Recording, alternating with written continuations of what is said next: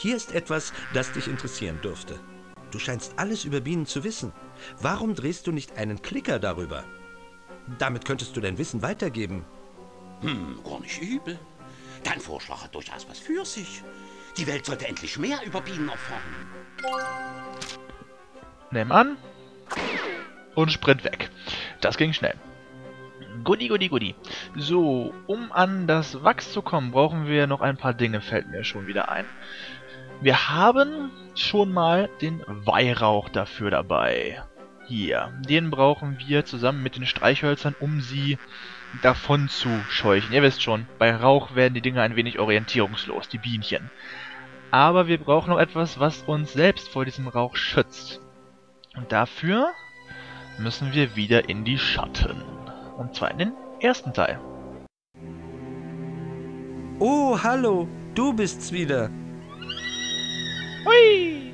Er sagt, hallo, wie geht's? Und solltest du dich nicht sputen, um Tod wieder auf die Beine zu bringen? Das war ziemlich clever. Woher kommst du? Das musst du meine Eltern fragen. Sie wollten es mir nie sagen. Nur ein kleiner Scherz. Ja, ziemlich klein. Das war nur ein bisschen Sarkasmus.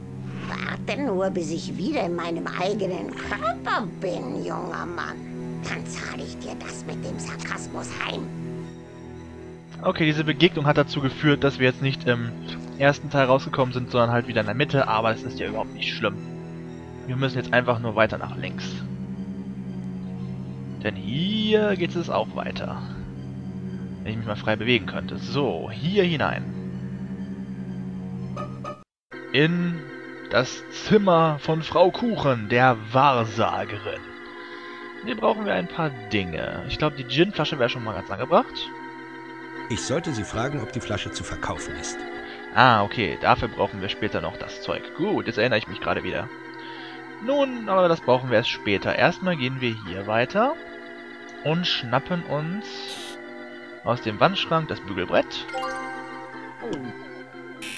Machen den Schrank wieder zu, wir sind ja so höflich. Und diese Schere hier. Die Schere brauchen wir direkt. Wir müssen nämlich diesen Unterrock von der Puppe hier abschneiden. Eine Holzpuppe. Ihre Arme sind fast so zierlich wie meine. Ja, das heißt nur, dass du überhaupt nicht trainieren gehst, mein Lieber.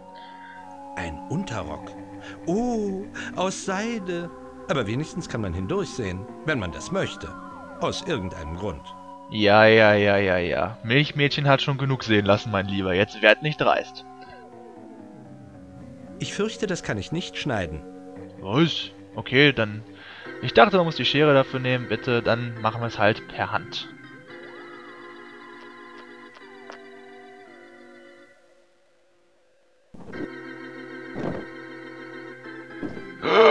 Ach, Rinzwend, du Flegel! Damit haben wir ein Stück Seidenrock. Ein Unterrock. Der Stoff ist so dünn, dass man hindurchsehen kann. Ja, das ist unsere Imkermaske, die wir jetzt brauchen werden. Ähm, den Dialog mit Frau Kuchen heben wir uns fürs nächste Mal auf. Das ist schon wieder ein Rätsel für sich. Gut. Zurück zur unsichtbaren Universität. Denn nun haben wir alles, um mit den Bienen arbeiten zu können. Was ich auch ganz schön finde an dem Spiel hier ist, dass es ähm, zwar die Rätsellösung relativ offensichtlich darlegt, aber wie zum Beispiel mit dem Mäuseblut, ähm, dass man halt am Ende noch einen kleinen Kniff benutzen muss, um des Rätsels Lösung wirklich auf der Hand zu haben. Nicht, dass man ihm das Gebiss mit dem Mäuseblut gibt, sondern dass man es abfüllen muss. Und hier ist es ähnlich. Erstmal benutzen wir den Unterrock mit Rincewind. Und jeder, der jetzt perverse Gedanken im Kopf hat, nein, so meine ich es nicht. Wir setzen ihn auf unserem Kopf auf. Okay, ja, ist auch pervers, bitteschön. Aber er ist nicht gebraucht. Ähm, dann zünden wir mit dem Weihrauch die Streichhölzer an. Nein, andersrum, mein Fehler. Blöd. Und benutzen es mit den Bienen.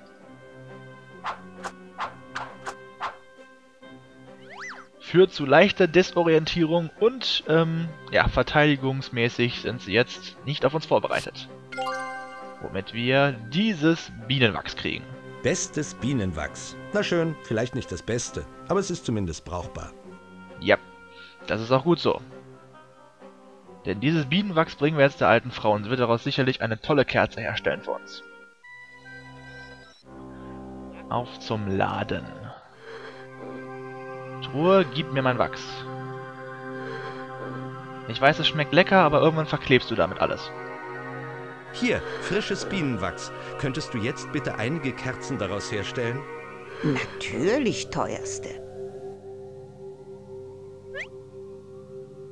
Das ging schnell.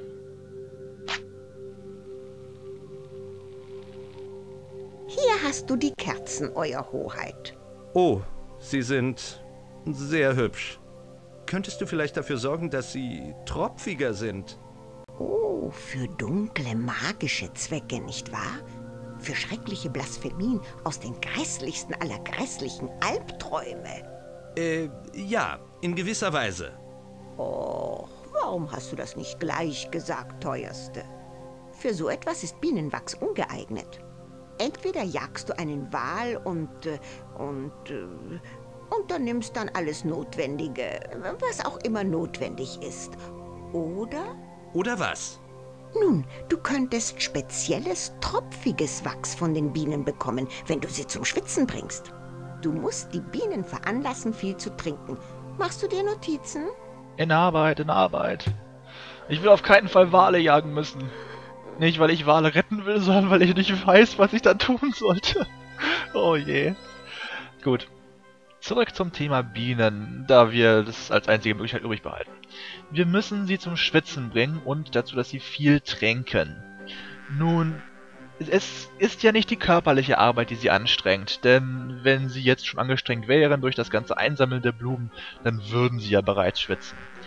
Also muss ich ihnen ihre, ja, Mahlzeit oder ähm, Honigquelle ein wenig vermiesen und dafür haben wir den Cayennepfeffer mitgenommen. Bienen summt weg, los. Die sind immer im Weg, wenn ich was sagen will oder hören will.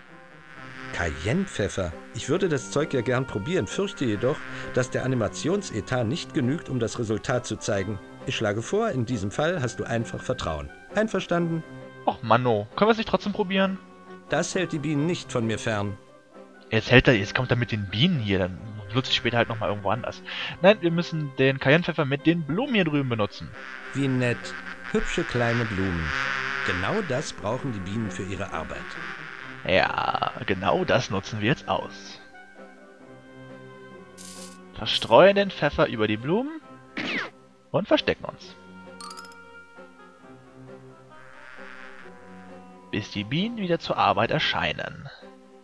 Komm, komm. Lecker, lecker Blüten.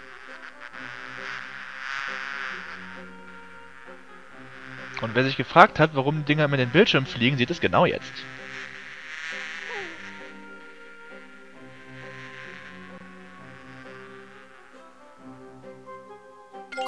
Was für eine schweißtreibende Arbeit. Und nun dasselbe Prozedere wie beim letzten Mal.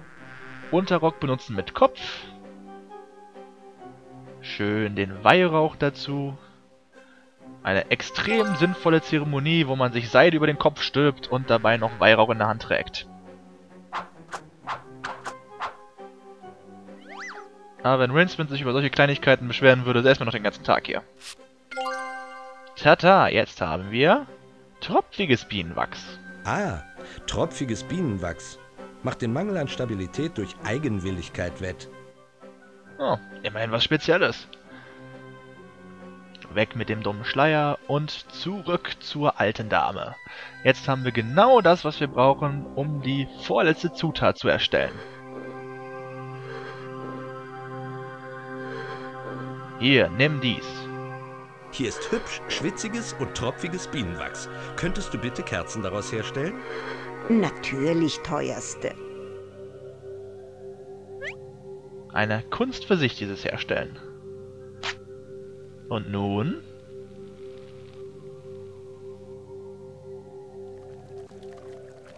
Hier, tropfende Kerzen. Genau das Richtige für den Umgang mit entsetzlichem Entsetzen und den schlimmsten aller schlimmen Albträume. Hier, was hast du vor, Euer Hoheit? Du planst doch nicht, deinem Mann einen Streich zu spielen, oder? Ich habe dir schon mehrmals gesagt, dass ich keine Prinzessin bin.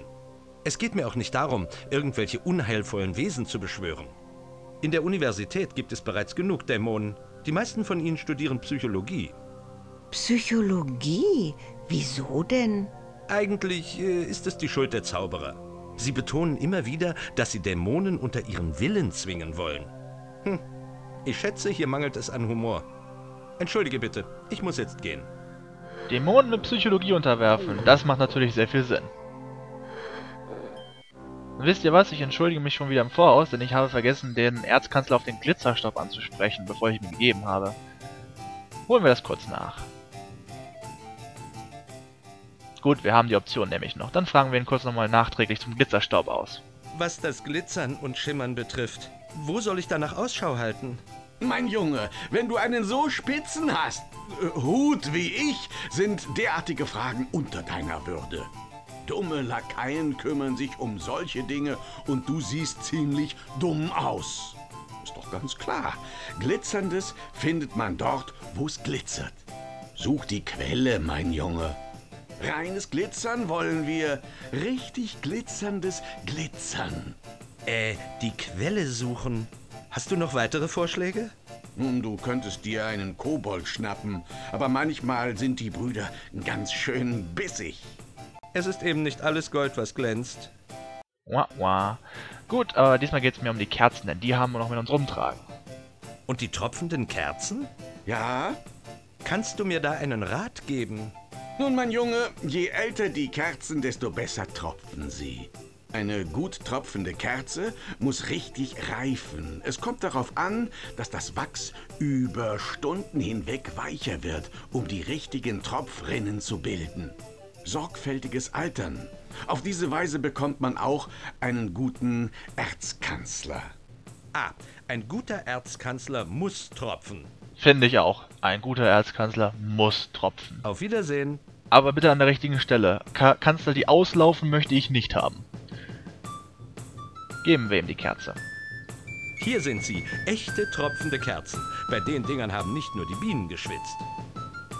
Hm, nicht unbedingt erforderlich, aber sehen recht nett aus. Jetzt mach mir nicht meine Arbeit kaputt. Das mag ich nicht. Guti, so.